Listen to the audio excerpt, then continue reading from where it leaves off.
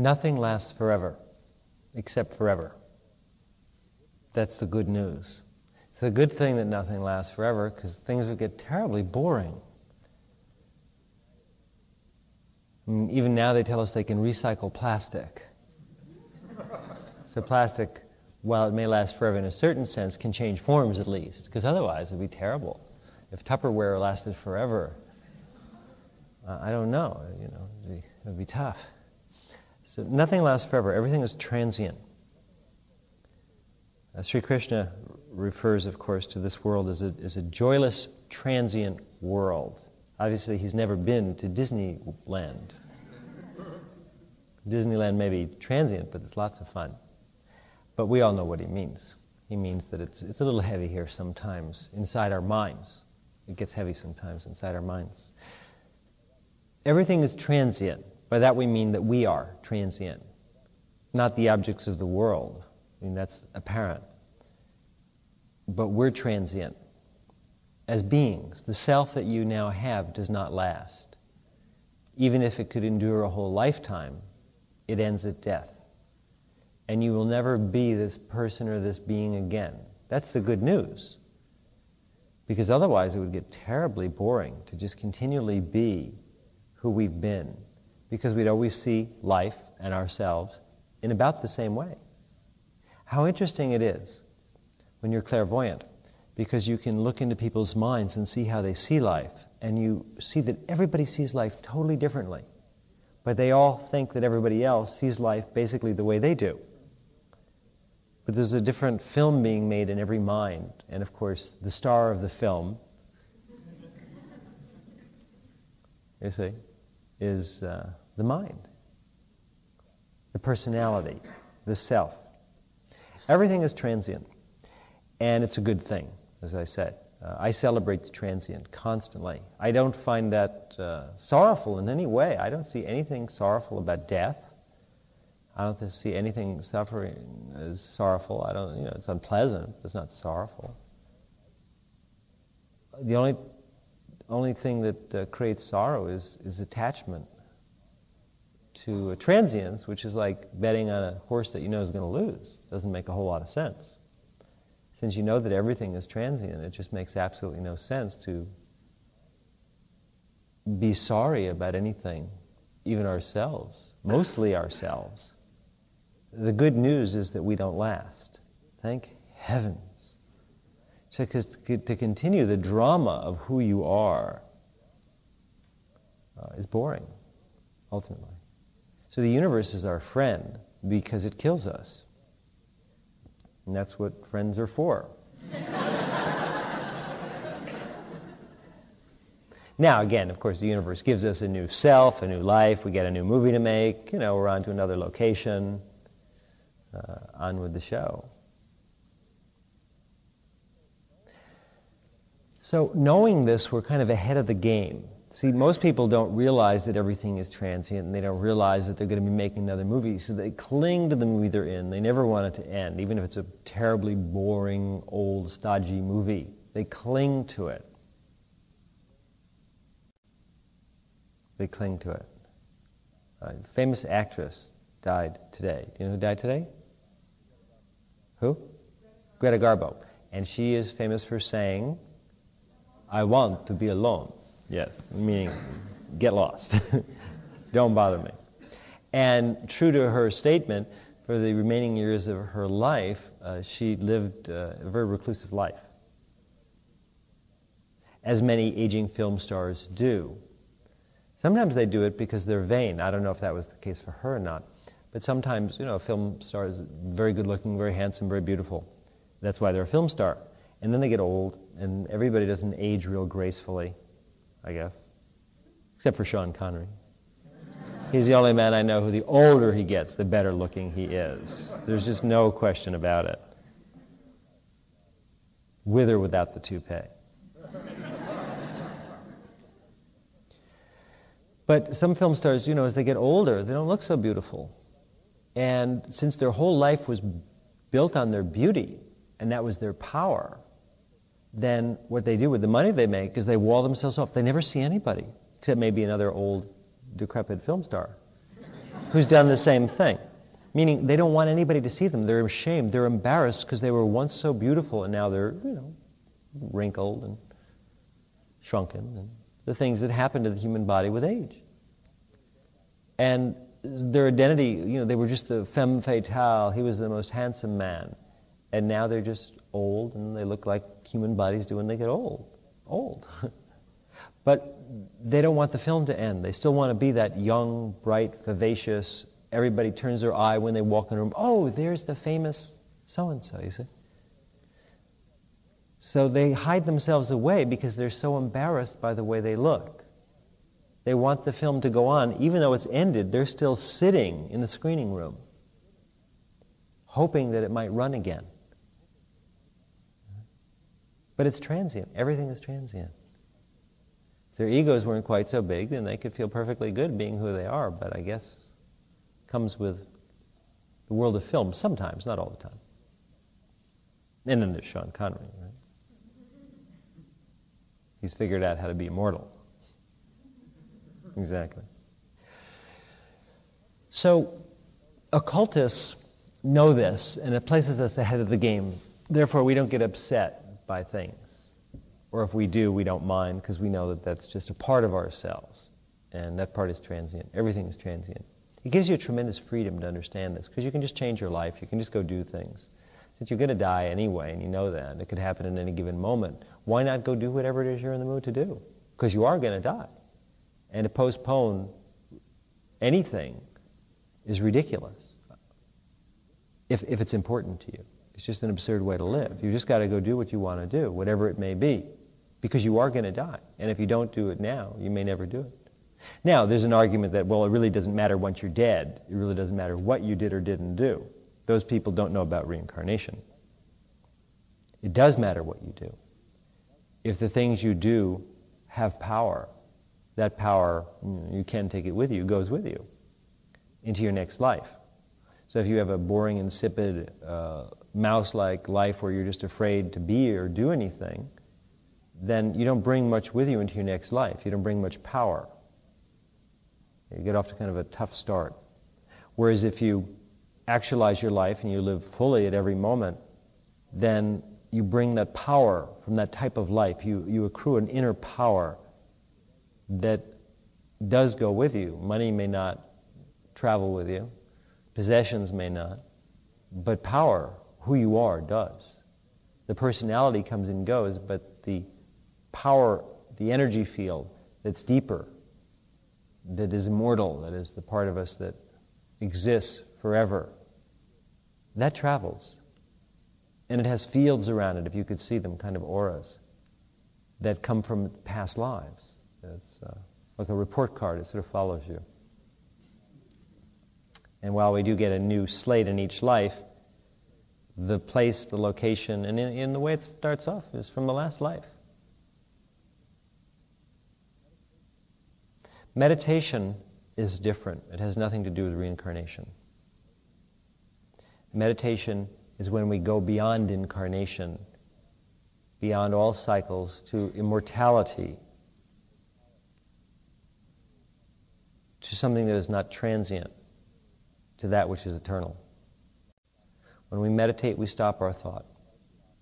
When your thought stops, the mind is perfect. There is no transience, no thought, no transience. That's what is eternal. When there is no thought, no sense of self, no impressions, that's eternity.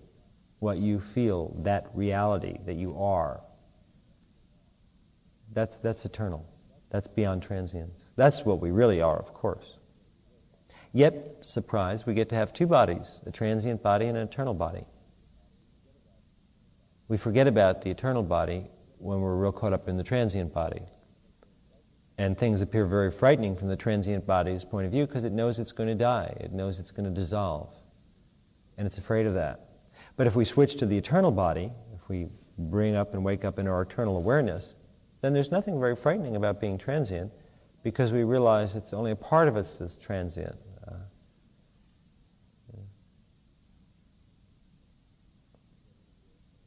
we get rid of the old clothes and we get new clothes, but the body remains.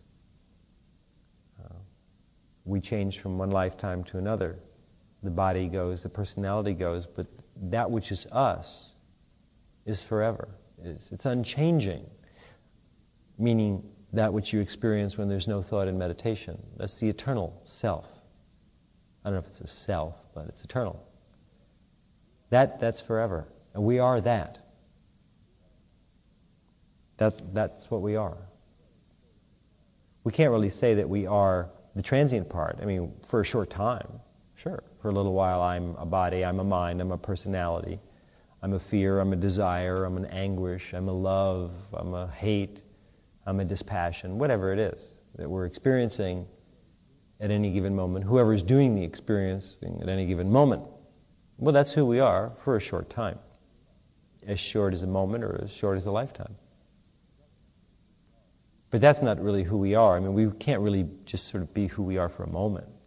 That's more like a place we pass through, it's a location. We're travelers, we're mental travelers. We're a mind in time and space.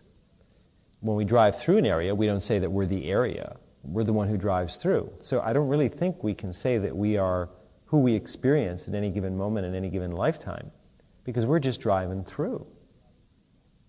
We're driving through moments. We're driving through bodies, through selves. It helps to know this. The only way you can know it really is to meditate. When you meditate, you stop thought. When there's no thought, that's eternity. That's the eternal part. To conceptually know this is just another moment that you're driving through. You're driving through the moment when you knew this, and then you'll forget it. And then you'll experience the fear, the obsessions of a transient moment mistaking it for reality. Whereas when you know that you're driving through, you're just passing through, as the song says, then uh, it doesn't matter so much. It matters for a moment, just like driving through any place matters for the moment that you're there. You're there. But the confusion of self is that we are, we mistake ourselves for where we, we are. We're not the body, we're not the personality, we're, we're eternity, which is passing through all this, all these wonderful forms that we see that we call life. We're the formless. The formless. If, if you're meditating and you're not experiencing the formless, if you're not the formless in meditation, you're not meditating yet. You're practicing concentration and learning to meditate. But only when you experience the formless are you really meditating. And again, you can't experience the formless. That would imply that you, the transient part, is driving, and for a moment you're experiencing the eternal part and you're passing through it. Uh uh-uh. uh. you are not meditating yet. You're learning how. No, it's only when you, the eternal part, are eternal, and that's all there is, that you're meditating. There's no thought, no sense of self. That's meditation. Up until then, you're learning how. You can either meditate or you can't meditate. You know, you can't be a little bit pregnant. Right? So they say. You can't meditate a little bit. You either meditate or you don't. If you meditate, there's only eternity. Then, well, you're not meditating. Well, here we are in the transient again, experience a transient body, a transient world, a transient moment. And we forget about the eternal part. But the more we meditate, the less we forget about it. After a while, we have a kind of a dual awareness. Enlightenment is kind of a dual awareness, where we're aware of the eternal as the eternal, we're aware of the transient as the transient, and something else that I couldn't describe to you in words. The void. I mean, there are no words. Words don't mean anything in the void. For the experiences that are beyond words, for the reality. Words are terrible traps. They're pretty, but they're terrible traps if we think that in any way they explain anything about reality. They just point us in lots of different directions simultaneously. So then, when you practice meditation, know that you're not meditating until there's no thought, no sense of self, and only eternity. Only eternity. Only eternity. And the more you try and make yourself stand out, the more you try and be noticed, by others, that means the, the less adept you are in meditation. Because it just means that you're clinging to the transient self and trying to glorify it. Well, the only one who does that is someone who doesn't know anything about eternity, who, who really is mistaking the transient for the eternal. So the, the more you want to be noticed, that simply means the less you know about meditation. The people who know the most about meditation aren't noticed. There's no need to be noticed because they know they're not the person, so why glorify that? You glorify in the transient. The transient is God, of course, and Goddess. The transient is perfection. It's not less than the eternal, it's a manifestation of the eternal. But you don't bet on a losing horse. Unless you got tax problems. You, uh, you don't mistake. Discrimination, viveka, means you know the difference between the transiency and the eternal. It doesn't mean you know the difference. It means that you know that you are the eternal. And you're also the transient, and you can tell the difference. That's what discrimination means in Shankara's yoga. That's what he's talking about. He's talking about knowing the eternal. To, to discriminate doesn't mean intellectually you can say, oh, yes, I understand. This is a transient idea. This is something that's eternal. That isn't discrimination. Those are ideas. Discrimination is the ability to meditate. You, unless you can meditate, there can't be discrimination because there's only transience and transient ideas of the eternal. Only in meditation is there discrimination. Meditation is discrimination, the absence of thought, the absence of self.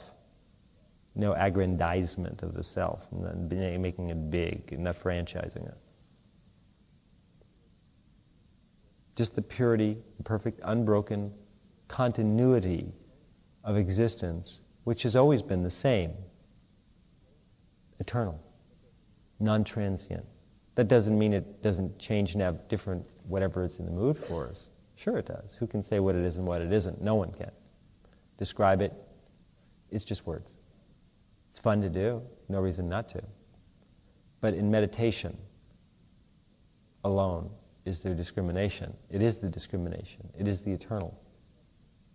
So learn to meditate, learn to stop your thoughts.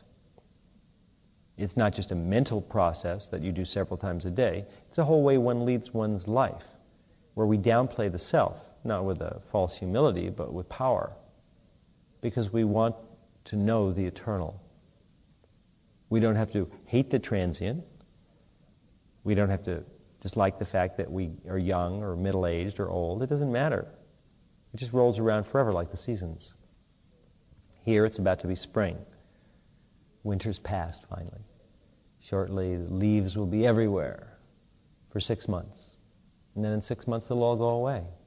And the bare, ruined choirs where late the sweet birds sang, as Shakespeare called them, the branches will dominate again. No leaves. But they're about to be leaves. See? We're going to go from one condition to another. That's life. In California, they have palm trees. Palm trees have seasons too. They're just not as obvious, unless you're an aficionado of palm trees, which I happen to be.